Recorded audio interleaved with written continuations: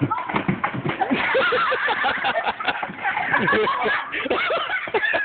gonna do that hold again. What hold? The the one that you did.